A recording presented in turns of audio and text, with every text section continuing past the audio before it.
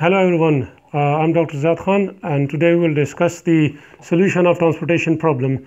So first we will solve the initial, the first we will solve the transportation problem and find out its initial solution and the method that we will use, the method that are used to solve is north west corner method. This will find out the initial solution of the transportation problem. Once we find out the initial solution of the, the transportation problem, then we will use the stepping stone method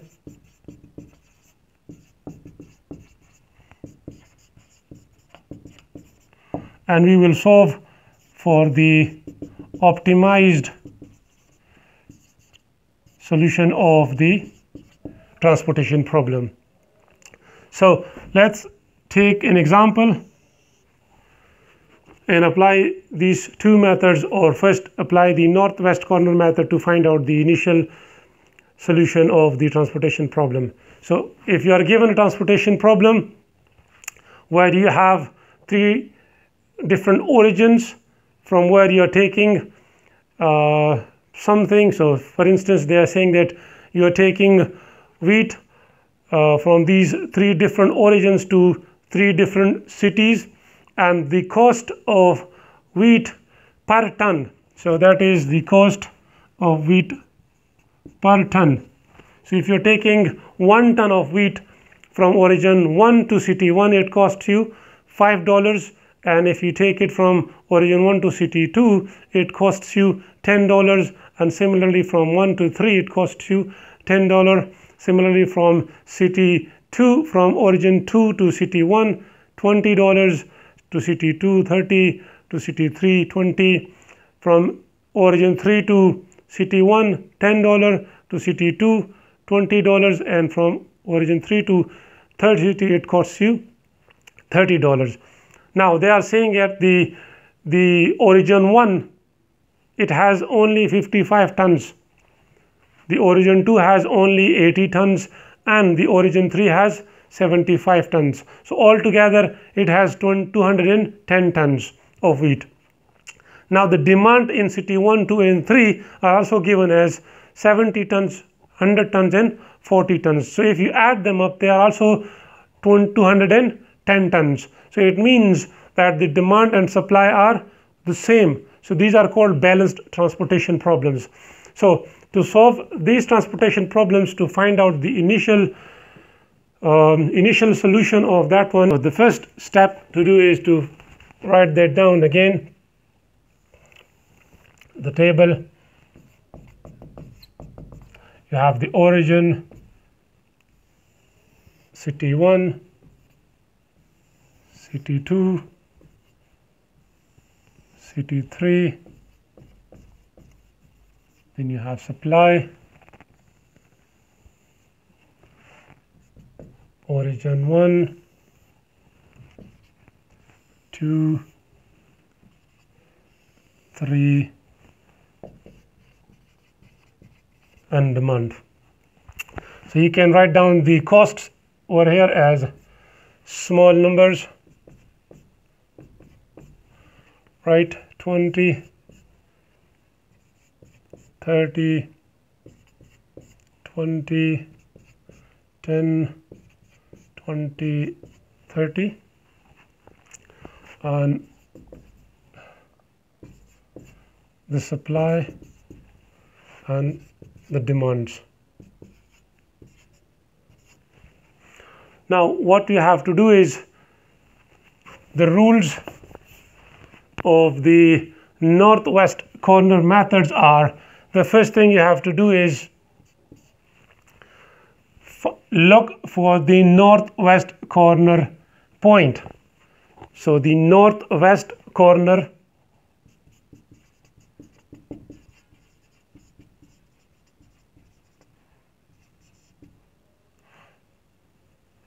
northwest corner cell of the table So we select the northwest corner cell. So you look at the table, this is the northwest corner cell of the table. Excuse me.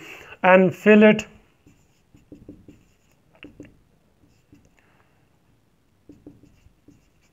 in order to justify the supply and demand which means you cannot put here more than 55 right? Because it has only 55 so you cannot take more than 55 here. And also even if you have more than 55 here you cannot have put here more than 70 because the demand is 70 so you cannot put more than 70 and you cannot put more than 55 so how much can you put here? Looking at the supply and the demand. So according to supply we are taking from here. How many can we take? We can take maximum of 55 now we can take 55 but we look at here. This is 70 so is 70 greater than 55 yes so we can take all of the 55 over here. So we took all the 55 from the store and took it to city 1 so what are we left over here? Nothing. Nothing is left over here. Right? And how much demand is fulfilled? So you subtract 70 minus 55 that gives you 70 minus 55 gives you 5 and 1 15 so that gives you 15 so you can cross this one and write down 15 excuse me.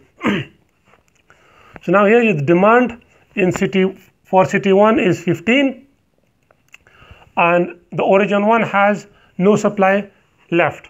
It means city origin 1 cannot supply anything to city 2 and it cannot supply anything to city 3 right? Now the next step is you look for the next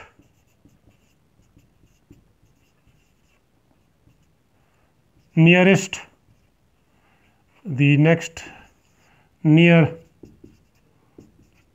north west cell feasible cell. By feasible it means that you can have this one and you can have this one but this one is not feasible right? Because nothing or from origin 1 you cannot take anything. There is nothing left. So the next feasible is this one right? Now how much can we take from CT2 according to the supply? How much supply it has 80 tons. So we can take 80 tons. According to supply we can take 80 tons. But if you look at the demand in city 1 the demand is only 15 so we will take only 15 so 80 minus 15 gives you what? 5 and 6 65 so here the supply left is 65 and now here the demand if you add these two gives you 0. So it means for city 1 the demand is filled. So it doesn't need any more wheat. So does it need anything from origin 3? No, because the demand is already fulfilled. Right? Now, can origin 2 send anything to city 2 and 3? Yes, it can because it has still 65 tons left. Right? Similarly, 3 origin 3 can send something to or city 2 and 3 because it has 75 tons left. Similarly, you repeat the process. Now again, which one is the north corner one? The northwest corner in this in these four cells, these are the feasible cells. Which one is the north west corner is this one. In this one, how much can we take from the supply? We can take 65 tons from the supply. And if you look at the demand, the demand is 100, which is more than 65. So we will take all 65 from the supply and we have nothing left.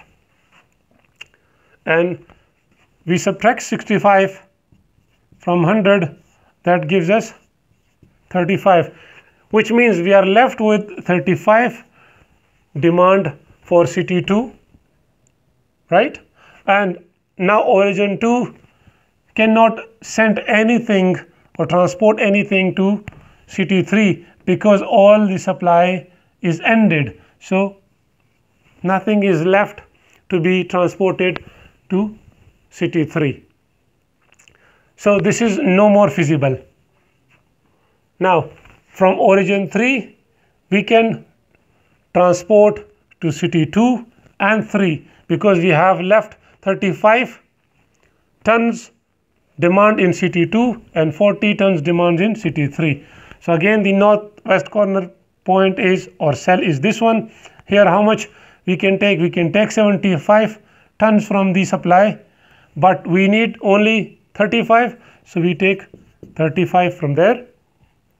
And similarly now how much is left here? So minus 35 gives you 40 now 40 is left. Now you can take from origin 3 to city 3 how much is in demand? They need 40 and how much is left? 40 is left. So you can take 40 over there. So now the demand here is full is filled. Zero demand all filled and zero demand all filled and all the supply is gone so nothing is left in the supply and all the demands are fulfilled.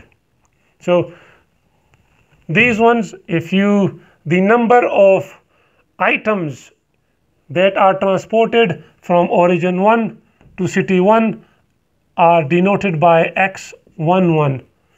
From origin 1 to city 2 are denoted by 1, 2. From 1 to 3 denoted by 1, 3. Similarly, 2 1 2 2 2 3 similarly from 3 to 1 from 3 to 2 from 3 to 3 right so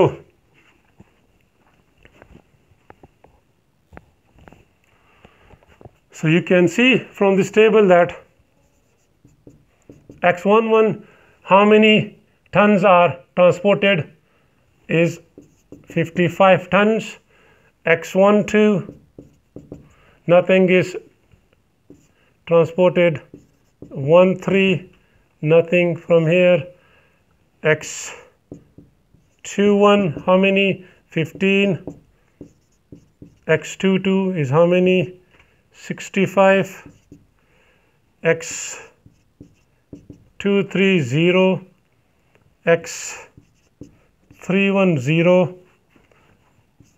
x 32 are 35 and x 33 are 40 so what would be the cost of fulfilling the demands so the cost would be so how much is the cost for taking or transporting one ton of wheat from origin 1 to city 1 is 5 dollars. So you multiply this cost to the number of items that are transported excuse me. And then add them up. So 5 times 55 plus 0 times 10 times 0 plus 10 times 0 plus 20 times 15 plus 30 times 65 plus 20 times 0 plus 10 times 0 plus 20 times 35 plus 30 times 40 and now you, you can add them up. So 5 5 25 5 5 25 27 275 that one is 0 that one is 0 this one is 300 this one you can simplify just multiply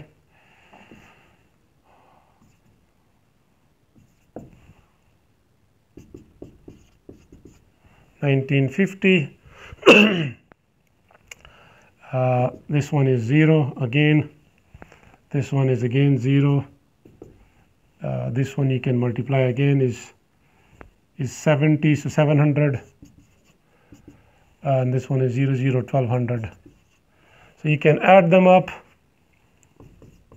1200 700 300 1950 and 275 so 5 2 10 19 21 22 and 4 so that gives you 4 to 2 so the cost is 4225 dollars by transporting 70 tons of wheat to city 1, 100 tons to city 2 and 40 tons to city 3 in, in, this, in, in these amounts. So if any of the problem is given, you're supposed to follow the rules by choosing the northwest corner, fill that as much as possible looking at the supply and the demand and fill that one and discard the cells in that row or in the column if the supply is finished or if the demand is fulfilled. And